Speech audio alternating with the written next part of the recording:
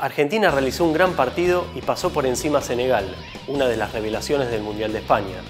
El equipo de Julio Lamas puede quedar puntero del Grupo B y así evitar el cruce de octavos de final ante España. En 4-4-2 te mostramos cuáles fueron las claves del triunfo argentino.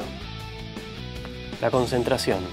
Argentina salió a la cancha a asfixiar desde el primer minuto a uno de los rivales más poderosos desde lo físico y le provocó varias pérdidas a Senegal. Hizo jugar incómodo a Georgi Deng y tuvo a un Andrés Nocioni que defendió como un león. La importancia de la rotación. El buen andar del equipo le posibilitó a Julio Lamas darle más minutos a jugadores que no suelen tenerlos en partidos más cerrados. La Provítola y Leo Gutiérrez hicieron un gran partido, Mata volvió a estar preciso desde larga distancia y Tayabek Galisi y Matías Bortolín hicieron su debut en el Mundial.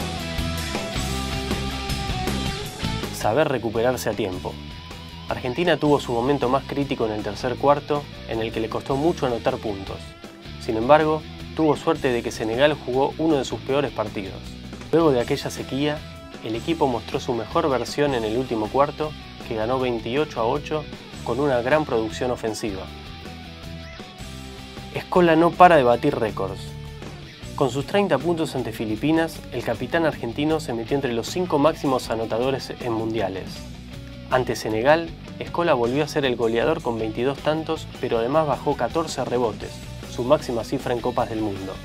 Luifa sigue imparable y Argentina se lo agradece.